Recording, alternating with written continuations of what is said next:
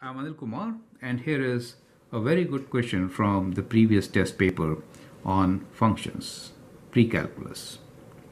A ball is thrown upwards from the roof of a building 60 meter tall.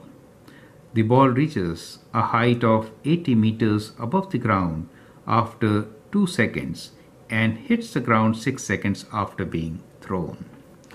Write height of the ball as a function of time determine domain and range of this function, right? You can pause the video, copy the question, answer, and then look into my suggestion. So I need a lot of space and therefore I'm just kind of making a sketch here to help define variables and understand the situation. So what we have here is ball is thrown from the height of 60 meters and that is our height. We are saying h of t is the function and this is time t. Time is in seconds and height is in meters. It reaches a height of uh, let's say this is the height of 80 meters after 2 seconds. So that is the situation given to us and it hits the ground 6 seconds after it is being hit since the building is 60 meters tall, at t equals to 0, height of the ball is 60.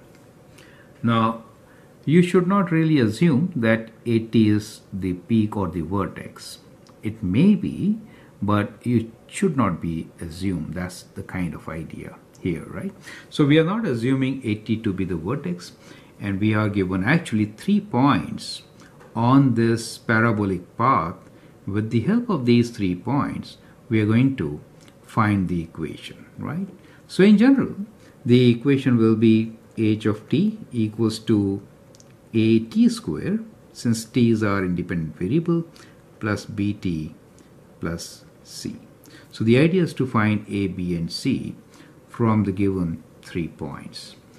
Points given to us are, the first point here is 0, 60. So the points given to us are at t equals to 0, height is 60 meters. And then we have at t equals to 2, the height is 80 meters. And at t equals to 6, the height is 0. If we use these points one by one, we'll get three different equations. And from three equations, we can always solve for three variables. That's the whole idea. So let's substitute 0 first. So height is 60. We get 60 equals to 0 plus 0 plus c. And that gives you the value of c as equals to 60, right? So that is first thing. So now from now onwards, we can write c as 60. Let's use the second point, 2, 80. So 2 is the value of t, 80 is the value of height. So 80 is equals to 2 is t, so it's a times 2 square, let me write 2 first, right? b times 2 plus c is 60 for us. So we use 60 from our equation number 1. So let us say this is equation 1. So we use equation number 1, the value of c. Okay, let us simplify this a bit. So we can bring 60 on the left side. So we have 80 minus 60 equals to 4a plus 2b. 80 minus 60 is 20 equals to 4a plus 2b. You can divide by 2, so we get 10 equals to 2a plus b, right? So I'll call this as my second equation. So from the second point we got the second equation.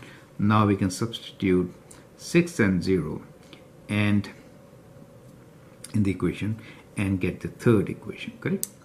So if I substitute 6 as the value of t, 0 is h of t, we get 0 equals to 6 squared. So let me write 36 this time. I'm not writing like this. 6 squared is 36, so 36a plus 6b, right? t is 6, 6b plus 60. So we have used 60. Okay, so that becomes the next equation for us. And we can actually divide by 6 here and rearrange. Bringing 60 to the left side, what we get here is minus 60 equals to equals to okay we'll do it in two steps. 36a plus 6b right? So let me because I'm running out of space here so let me take this equation to the right side. So we'll write this we'll divide by 6 now so we have uh, minus 10 equals to 6a plus b right? Let me call this equation as equation 3 so as you can see from here what we did was we divided by 6 correct? This is what we did and we got this equation. So equation 3 is minus 10 6a plus b. Equation 2 is 10 equals to 2a plus b. So if I do equation 2 take away equation 3 what do I get so 10 take away minus 10 will give me 20 right and uh, uh, 2a take away 6a gives me 4a with a minus sign, right? 2a take away 6a minus 4a, b take away b is 0. Solving, we get a equals to 20 divided by minus 4 and that gives us a equals to minus 5. You get the idea, right? So a is 5. Let me call this as equation 4 for us. Now we know what a is, so we can find what b is. So let us substitute a equals to 5 in second equation. So what do we get? We get 10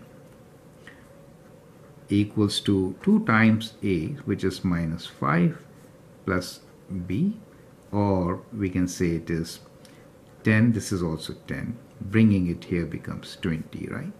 So 10 plus 10 so we get b equals to 20 so let me call this as my equation number 5 now from these equations we know the value of b is 20 value of A is minus 5 we found the value of C as 60 right? So we can write down our answer. The answer uh, okay so because there are many more things uh, okay so okay. For part A we get our answer as that the equation is h of t equals to a is minus 5 so minus 5t square. B is 20 plus 20t and C is 60 plus 60 right? So that is the answer for part A right? So answer for part A part B is determine domain and range of this particular function. Now domain is clear. So part B is we can say domain right? So domain in this case as you can see is uh, is from 0 to 6 the possible values for time duration during which the flight of the ball right? So that is from 0 to 6 now to find range we need to find maximum. That is what we need to find okay now as you know in a quadratic equation maximum will be at minus b by 2a right? Minus b by 2a so b is 20 so so we can say t equals to minus of 20 divided by 2 times a which is 2 times minus 5 so that gives you the value 2 so at t equals to 2 we have maximum fortunately we know what t of 2 is or you can say h of 2 and when you substitute 2 here in your equation you will get the answer which is given to you as 8t right? And therefore in this particular case the range is you can say range is from 0 to 20 right? So in this case you are lucky that the point given to you was also the maximum right? So you could have approached the equation by using uh, the vertex form of the equation also to solve. Anyway uh, the idea is to provide you with a general solution. So I have another question uh, which is related where I have not given you the maximum. Just to remind you that you could be given any three points, not necessarily the x-intercept, y-intercept and the vertex, okay? Keep that in mind. I hope that really helps uh, and sometimes it may make huge difference. I'm Anil Kumar. You can subscribe and share my videos and get excellent marks in your test. Thank you and all the best.